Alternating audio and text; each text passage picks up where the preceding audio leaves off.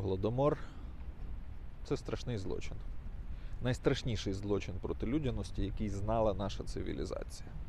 Безумовно, найстрашніший, причому ми з такого ракурсу на нього насправді не дивимося, рідко акцентуємо увагу, але навіть якщо порівнювати з тим самим Голокостом, то українців під час голодомору загинуло в кілька разів більше. Це навіть якщо вірити опублікованій статистиці.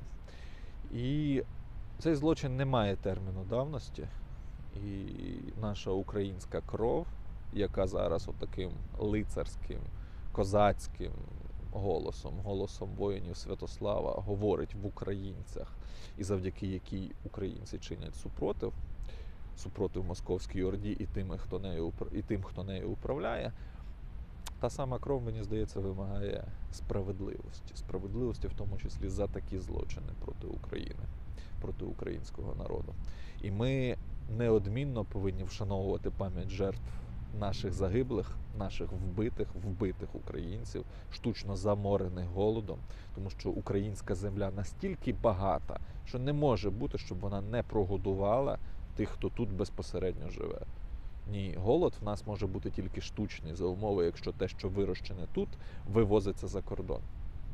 От перша частина ми маємо вшановувати вбитих цим штучним голодом. І це дуже важлива частина.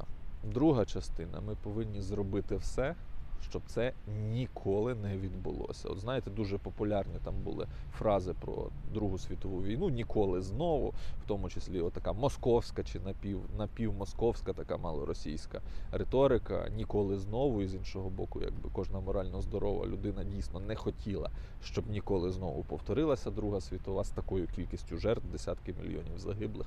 Ну це ж нормальна реакція. Так от голодомор ми повинні також дуже глибоко проаналізувати, сприйняти і сказати ніколи знову. Ніколи знову в якому сенсі? Ніколи знову не мають повторитися обставини, за яких голодомор стає можливим. А за яких обставин він стає можливим? За обставин, якщо вирощені продукти з України вивозяться куди-небудь. Причому, якщо ми беремо 32-й, 33-й, то ну, тоді їх вивозили під контролем Червоної армії, НКВД і так далі. Оці всі продзагони, оці всі чекісти, так звані, і ще, і ще багато цієї всієї комуняцької шобли. З, допомогою сили і з допомогою політичної влади. І це ніколи знову дуже актуальне, тому що, ви знаєте, за аналізом видання Economist, Україна є територією, яка знаходиться зараз за крок від голоду. Зараз ми знаходимося, якщо вірити виданню The Economist, за крок від голоду. Ми позначені червоним кольором на їхній карті. І це ніколи знову воно дійсно стає актуальним. І це на фоні того, що ми масово вивозимо продовольство з України, не маючи сформованого резерву нашої продукції для того, щоб забезпечити в першу чергу українців. У нас його просто немає. Зелена влада його не організувала і не збиралася організовувати. Вони просто торгують нами оптом і в роздріб. Тому це ніколи знову дуже дуже актуально. І третій урок, який ми також повинні винести з голодомору, поряд із списком жертв повинен бути список їхніх вбивць, список катів, список тих, хто видирав українських селян останнє. І це не менш важлива насправді складова, тому що е, цей список він просто фундаментальний. І мова йде не про Сталіна, не про найближче оточення Сталіна, не про всяких Кагановичів, там ще когось, ще когось. Ні. Все набагато більше. Це публічні особи, про яких знають всі. Мова йде про тих, хто на місцях видирав водносельчан останні, хто на рівні районів керував тими процесами, хто давав команди розстрілювати будь-який супротив. Мова йде про тих, хто видирав останню картоплину з рук там напівголодних дітей по хатах. Про тих всіх людей. Але в першу чергу, я думаю, навіть не про рядових виконавців, які безпосередньо об'їжджали села, а про всяких секретарів районів, ну, райкомів партії, секретарів обласних партійних там і так далі. Чому?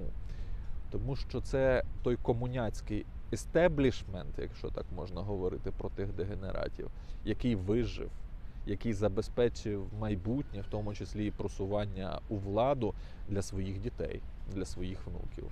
І значна частина дітей тих виродків зараз знаходиться при владі в Україні або в великому бізнесі в Україні.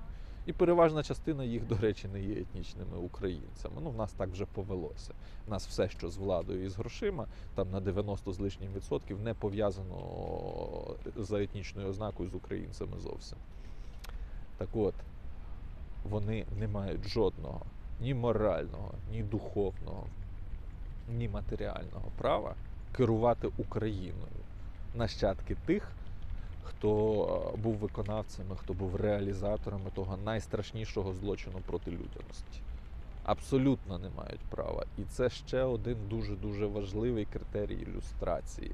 І ми той критерій повинні неодмінно дотриматися.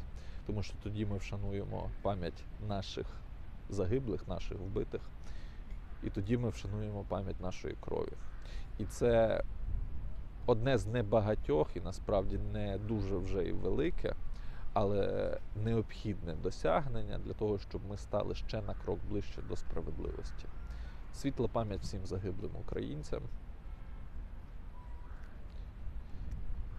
І справедливість для всіх виродків, які вбивали і продовжують вбивати наш український народ.